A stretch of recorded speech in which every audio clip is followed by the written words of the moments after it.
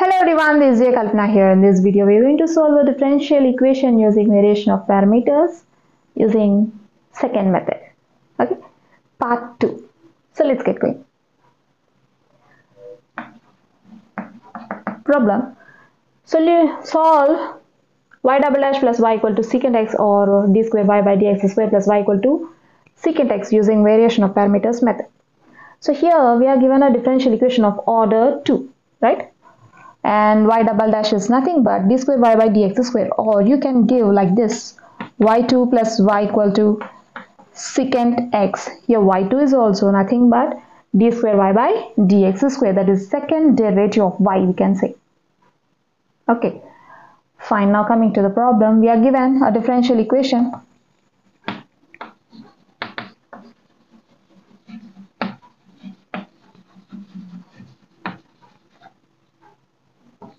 y double dash plus y equal to secant x or d square y by dx square plus y equal to secant x or we can write this in dif differential operator form or operator form. We can write d square y by dx square or we can replace d square y by dx square with differential operator d square y plus y equal to secant x. Now take y common from these two terms we'll get d square plus 1 into y equal to secant x. Consider it as equation 1 which is an operator form say f of d into y equals to let's take RHS part as r of x okay and here f of d where f of d equal to d square plus 1 and the homogeneous equation of 1 is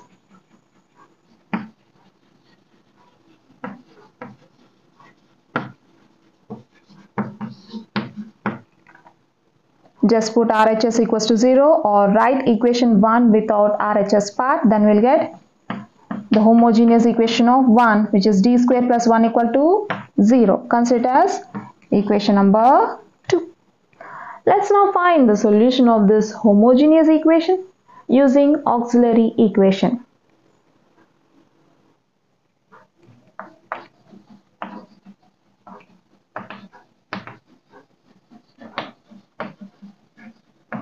The auxiliary equation is f of m equals to 0 where f of m equal to we have f of d, d square plus 1. Let's replace the differential operator with m so that we'll get f of m equal to m square plus 1. And the auxiliary equation becomes m square plus 1 equals to 0. Now we need to find the roots of this equation. Take this plus 1 to RHS, it becomes minus 1. Then m equals to plus or minus square root of minus 1 since square root of minus 1 equals to i. Let's replace square root of minus 1 with i. Then m equal to plus or minus i are the roots of our auxiliary equation. Therefore, the roots are complex conjugate. And we'll get the solution of this equation using the formula. We know that if m equal to a plus or minus ib, the solution of homogeneous equation will be e power ax into c1 cos bx plus c2 sin bx right? In case of a0 we'll get e power 0 into x here. Then this equals to e power 0 into c1 cos bx plus c2 sin bx and also we know that e power 0 is 1 so we'll get 1 into c1 cos bx plus c2 sin bx right? Or 1 into c1 cos bx plus c2 sin bx is c1 cos bx plus c2 sin bx.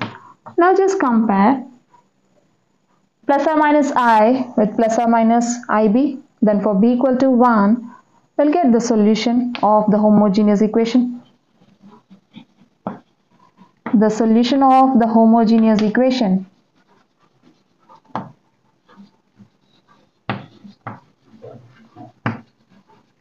equation number 2 is y equal to c1 cos for b equal to 1 1 into x plus c2 sine 1 into x. From this we'll get y equal to c1 cos x plus c2 sine x. This is the solution of equation 2.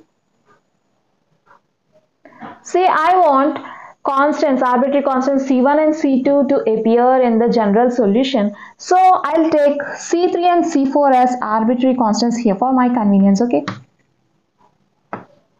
It's 3 and 4.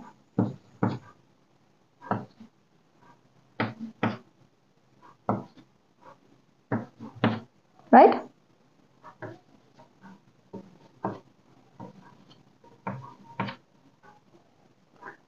Now, we got the solution of equation 2 which is y equal to c3 cos x plus c4 sin x right?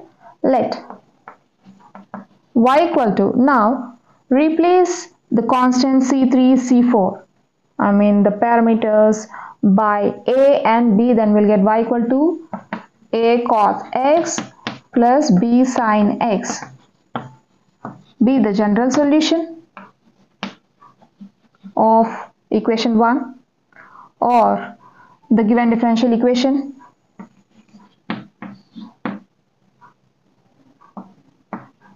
General solution of equation 1 where a and b are functions of x.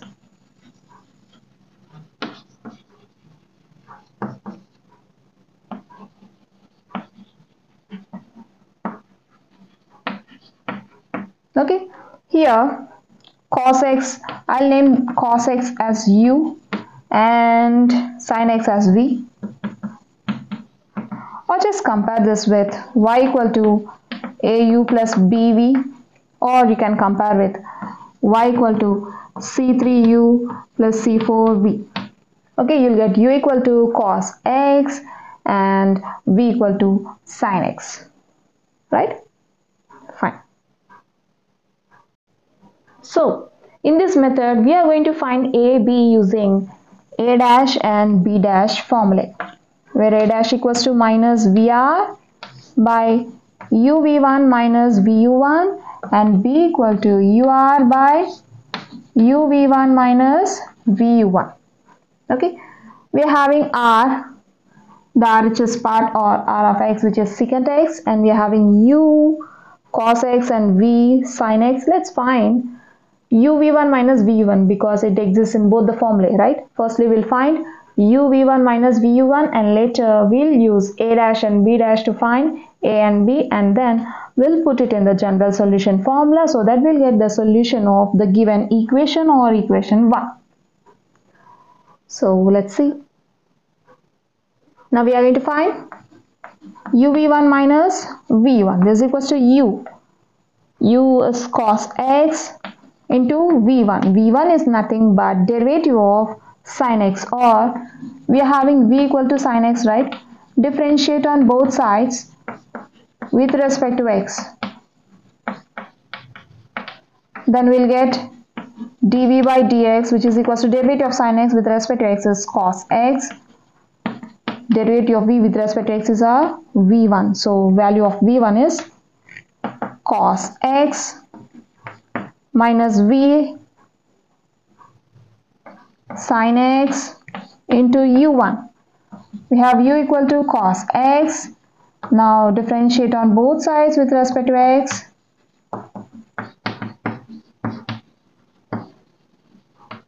We'll get du by dx equal to derivative of cos x is minus sin x which is a u1 okay into u1 is minus sin x. So this becomes cos square x minus into minus plus sine square x or we can write it as sine square x plus cos square x. Since we know that sine square theta plus cos square theta equal to 1 so this is equals to 1 so therefore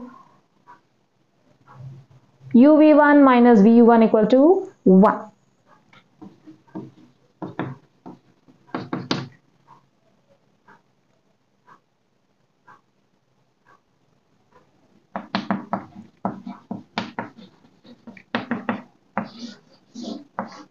let's now find a and b. Firstly we'll go for a1 sorry a dash. Which is given by minus vr by uv1 minus vu1 which is equals to minus v is sine x into r.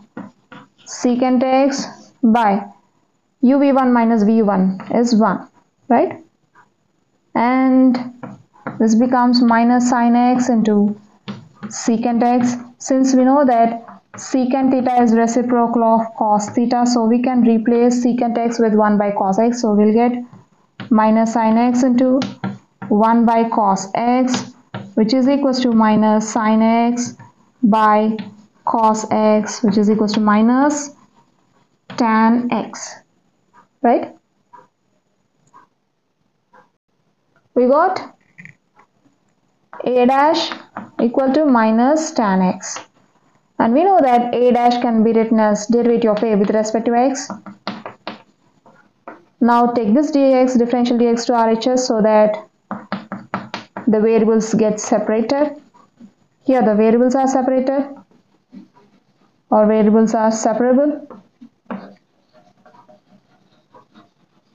So we can perform integration. Integral dA equal to minus integral tan x dx since integral tan theta d theta equal to log secant theta right? Then this becomes integral dA is a equal to minus integral tan x dx is log secant x plus integral constant say c1 this is the reason why I have changed c3 and c4 c3 and c4 in the general solution of equation 2 okay. See if you are not that good at remembering this formula. We can write tan theta as sine theta by cos theta. And if f of theta equals to cos theta then f dash of theta will be minus sine theta right? Here we can apply integral f dash of theta by f of theta d theta formula is log mod f of theta so in the numerator we need minus sine theta in order to write in order to get f dash of theta that is derivative of cos theta so what we'll do is we'll just write this plus as minus into minus. Because minus into minus is plus, right? We'll take 1 minus outside the integral. Okay. This is equals to minus integral. This is of the form integral f dash of theta by f of theta, right? f dash of theta minus sine theta by f of theta cos theta. So we'll get minus log mod f of theta which is cos theta or we can write it as minus log cos theta or we can write it as log cos theta whole inverse since we know that m log n can be written as log n power m so we'll write minus log cos theta as log cos theta whole inverse this equals to log cos theta whole inverse is reciprocal of cos theta which is equals to log Reciprocal of cos theta is secant theta. Right? Fine. Now coming to B dash. We have B dash equals to UR by UV1 minus VU1. Okay, now substitute UR and the value obtained from UV1 minus VU1. We'll get U cos x into R. R is secant x by 1 is equals to cos x into secant x is equals to cos x into we know that secant theta is reciprocal of cos theta so we can replace secant x with reciprocal of cos x cancel cos x you'll get b dash equals to 1 and now we'll write this b dash as derivative of b with respect to x.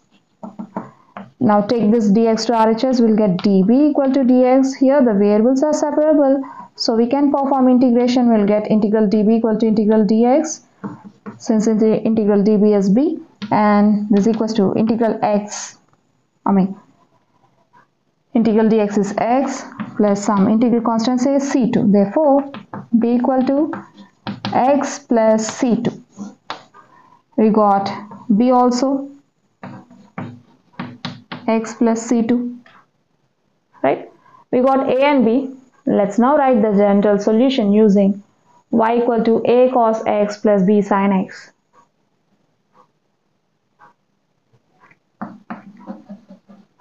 Therefore,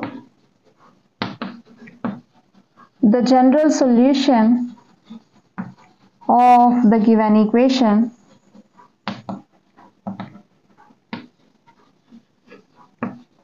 is given by y equal to a cos x plus b sin x. Now substitute a and b here.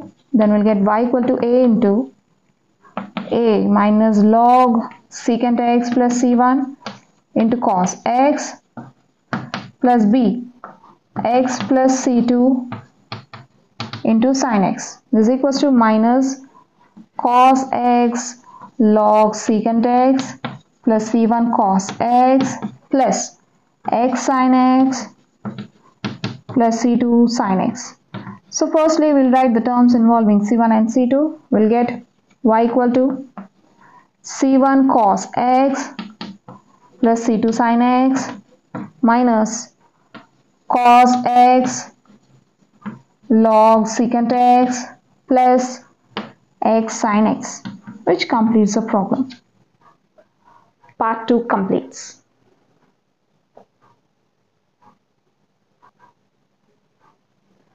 So we have seen a problem or a differential equation. We have solved a differential equation using variation of parameters using other method, second method.